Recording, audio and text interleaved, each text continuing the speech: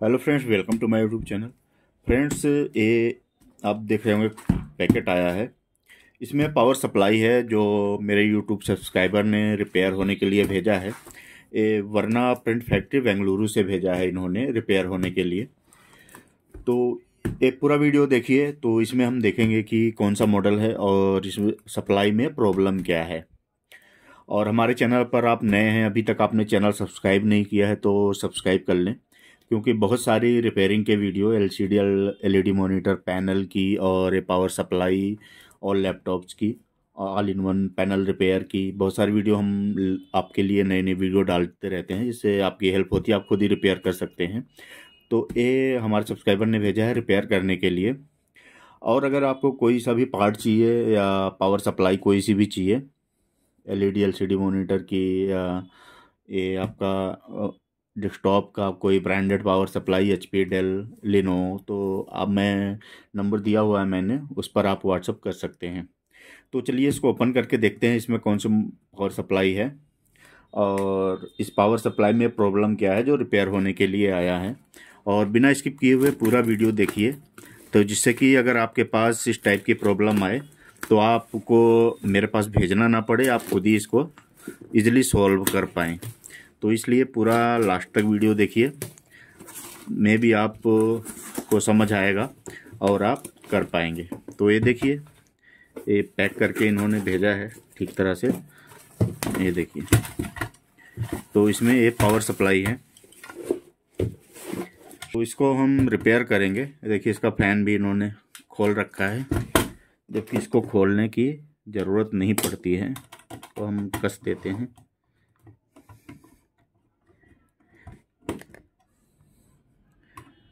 तो अब हम इसको ओपन करेंगे, क्योंकि अभी ऐसे पावर हम लगा नहीं सकते, जैसे कि मैं सारे वीडियोस में बताता हूँ, अगर टेम्पर्ड आता है, खुला हुआ आता है तो हम डायरेक्ट पावर नहीं लगाएँगे। तो यहाँ पर देखेंगे कि ये सब स्क्रू पहले से खुला हुआ है, क्योंकि हो खोल के चेक किया होगा, या हो सकता है कोई रिपेयर करने की कोशिश करी होगी। तो कुछ अंदर लूज़ होगा या शोल्डिंग सही से नहीं किया होगा तो थोड़ा बहुत रिपेयर करने का चांस होगा तो भी शॉर्ट हो जाएगा तो हम कर नहीं पाएँगे फिर। तो इसलिए पहले हम फ़िज़िकल चेक कर लेंगे कि कहीं कुछ ऐसा तो नहीं। तो उसके बाद फिर हम पावर लगाकर चेक करेंगे। अगर फ्रेश होता, ऐसा लगता कि कहीं ओपन नहीं है तो हम पावर लगाकर एक बार देख लेते। तो ये देखिए, ये है पावर सप्लाई और इसको हम एक बार फिजिकली देख लेंगे, अंदर से भी। आई थिंक कोई पेच नहीं लगा है, ये देखिए। ये देखिए। कुछ भी नहीं लगा है। तो इन्होंने कुछ वैसे करा तो नहीं है। रिपेयर, बस खोल के चेक ही किया है मुझे लग रहा है। और इसमें फिजिकली कुछ हमें दिख नहीं रहा है ख़राब। कोई कंपोनेंट बर्न या कुछ ऐसा कैपेसिटर कोई फूला हुआ तो हमें मल्टीमीटर से चेक करना पड़ेगा कि इसमें प्रॉब्लम है कहाँ पर। तो चलिए एक बार चेक कर लेते हैं। कि एग्जैक्ट प्रॉब्लम है कहाँ पर इसमें? तो यहाँ पर देखिए फ़िज़िकल तो कुछ नहीं दिख रहा है। कोई कंपोनेंट बर्न या कहीं आ, कुछ जला हुआ। तो अब हम पावर लगाकर चेक कर सकते हैं कि इसमें कहीं वोल्टेज आ रहा है या नहीं आ रहा है। तो देखिए पावर लगा के एक बार देखते हैं कहाँ कहाँ वोल्टेज आ रहा है। तो चलिए लगा लेते हैं। देखिए पावर लगा लिया है हमने। तो अब सबसे पहले यहाँ आउटपुट में चेक कर लेते हैं फाइव बोल्ट आ रहा है या नहीं आ रहा है।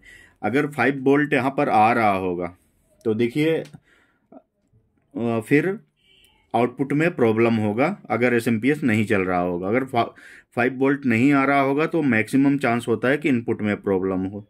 तो यहाँ पर देखिए फाइव बोल्ट नहीं आ रहा है।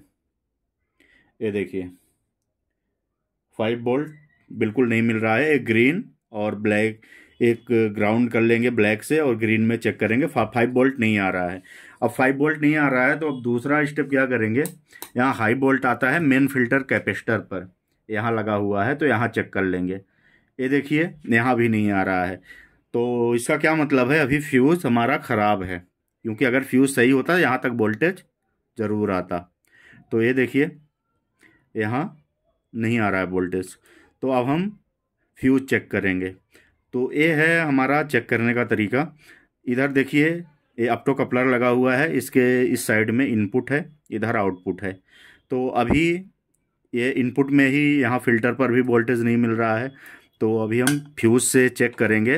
हो सकता है कि इसमें शॉर्टिंग हो, क्योंकि फ्यूज़ ख़राब होगा इसका, नहीं तो हमें यहाँ पर फ़िल्टर पर वोल्टेज मिलता। तो चलिए देखते हैं फ्यूज़ कहाँ लगा होगा। तो फ्यूज़ देखिए, अगर आपको सर्च करना है, क्योंकि अब छोटे वाले भी फ्यूज़ आते हैं तो ये देखिए, यहाँ से हम एसी देते हैं तो ये दो वायर है, और इसमें एक कार्ड लगा हुआ है तो फ्यूज़ यहीं पे लगा है। ये देखिए, ये यहाँ पर छोटा सा फ्यूज़ लगा है। ए ए वाला फ्यूज़ है, देखिए, ये आपको दिख रहा होगा, ये फ्यूज़ है ब्लैक कलर का। ये फ्यूज़ है, ये आपका ब्रीड डाइवोड है, इधर मॉसफेट ट्रांजिस्टर लगे हैं, ये आपका फ़िल्टर कैपेसिटर है इधर ये सारा इनपुट का ये T N Y I C है, ये भी मैक्सिमम ख़राब होता है, मैं आपको बताता हूँ वीडियोस में, ये वाली। तो ये है तो सबसे पहले हम फ्यूज़ चेक कर लेते हैं, यहाँ पर, कि फ्यूज़ सही है या ख़राब है, यहाँ पर फ्यूज़ चेक कर लेंगे। तो मीटर को कंटिन्यूटी पर कर लेंगे। कंटिन्यूटी के बाद हम फ्यूज़ चेक कर लेंगे। तो यहाँ पर देखिए, अभी कंटिन्यूटी नहीं आ रहा है फ्यूज़ पर। तो इसका मतलब फ्यूज़ ओपन है। अब आगे, अभी फ्यूज़ नहीं लगाना है। हो सकता है कि आगे शॉर्टिंग हो फ्यूज़ लगाएँगे तो और भी शॉर्ट हो जाएगा कंपोनेंट पूरा प्रॉपर देख लें शॉर्टिंग और आगे है कि या नहीं है। तो फ्यूज़ के बाद सबसे पहले ब्री डाइवोड चेक करेंगे कंटिन्यूटी पर ही। इस तरह से। वन बाय वन चेक करेंगे, फिर दो दो ए सी का पॉइंट चेक करेंगे, फिर पेयर में चेक करेंगे। कहीं कंटिन्यूटी आना नहीं चाहिए। इस तरह से। ए ब्री डाइवोड सही है। अब हम मॉसफेट चेक कर लेंगे। ये देखिए। मॉसफेट भी सही है। इधर डाइवोड लगा है। इधर एक मॉसफेट लगा है। ये भी सही है। अब यहाँ चेक कर लेंगे, ये T N Y I C इस पर सप्लाई आ रहा है कि नहीं? अगर ये सप्लाई नहीं आता है तो आई सी ख़राब रहता है। तो यहाँ देखिए कंटिन्यूटी आ रहा है। ये फ़िल्टर कैपेसिटर के पॉजिटिव से डायरेक्ट वोल्टेज आती है टू ट्वेंटी से थ्री साढ़े तीन सौ वोल्ट के आसपास। यहाँ पर आपको मिलेगा अलग अलग मॉडल में अलग अलग वोल्टेज आती है। तो ये देखिए कंटिन्यूटी आ रहा है तो इस पर इनपुट आ रहा है। अगर यहाँ पे एक कंटिन्यूटी नहीं आती तो बीच में एक रेजिस्टेंस लगी होती है, वो ख़राब रहती है और ए आपको चेंज करनी पड़ती है T N Y I C तो यहाँ पर सारे कंपोनेंट सही है। अभी भी हमें फ्यूज़ नहीं लगाना है, अभी हमें सीरीज़ में इसको चेक करना है। सीरीज़ में अगर चल जाएगा, उसके बाद ही फ्यूज़ लगाएँगे हम। तो हो सकता है कि ओनली इसमें फ्यूज़ ही ख़राब हो, और सारे कंपोनेंट बच गए हों, नहीं ख़राब हों। तो ऐसा भी होता है। तो सबसे पहले हम फ्यूज़ लगा के एक बार चेक कर लेंगे। अब यहाँ पर देखिए फ्यूज़ की जगह पे मैंने बल्ब लगा दिया है। अगर आपके पास सीरीज़ हो तो आप डायरेक्ट फ्यूज़ लगा के यहाँ सीरीज़ से वोल्टेज दे सकते हैं। तो आपका सीरीज़ वाला बल्ब ग्लो हो जाएगा।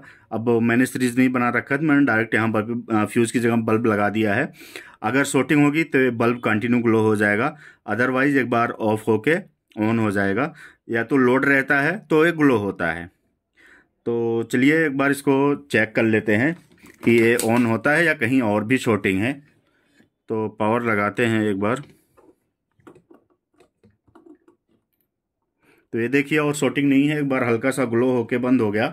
अब ऑन करने के लिए एक ग्रीन और ब्लैक में शॉर्ट करेंगे। तो यहाँ पर देखिए फ़ैन मूव हो गया है। अब वोल्टेज चेक कर लेंगे तो हमें सारी वोल्टेज यहाँ पर मिल जाएँगी। ये देखिए, इधर लाइट भी है ग्लो हो रही है। अब आपको वोल्टेज चेक करवा देता हूँ। ये देखिए, बारह वोल्ट यहाँ पे आएगा।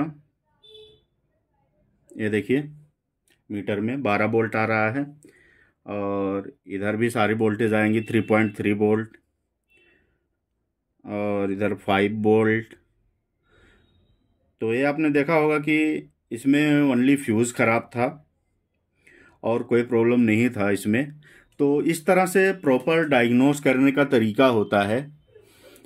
और मेन है कंपोनेंट पहचानना। हो सकता है कि आ, कई लोग जैसे कंपोनेंट चेंज होते हैं नॉर्मल फ्यूज होता है तो पहचान जाते हैं। अलग अलग टाइप के फ्यूज भी आते हैं। और चलो हो सकता है कि रिपेयर करने वाले ना हो तो इसलिए पता ना चला हो कि फ्यूज़ कौन सा है कैसा है या प्रॉब्लम क्या है। तो ये चीज़ें होती हैं। तो ये है आपका इसमें फॉल्ट था ओनली फ्यूज़ का तो मैंने क्लियरली बता दिया और कुछ इसमें प्रॉब्लम नहीं थी। तो अगर ये वीडियो पसंद आया हो तो लाइक एंड शेयर ज़रूर करें और अगर पूरा अभी तक आपने देखा है वीडियो तो चैनल को सब्सक्राइब ज़रूर कर लें क्योंकि बहुत सारी वीडियो हम जेनुअनली जो प्रॉब्लम रहती है उसके साथ लेकर आपके लिए आते हैं। तो मिलते हैं फिर नेक्स्ट वीडियो में। ये पूरा वीडियो देखने के लिए धन्यवाद।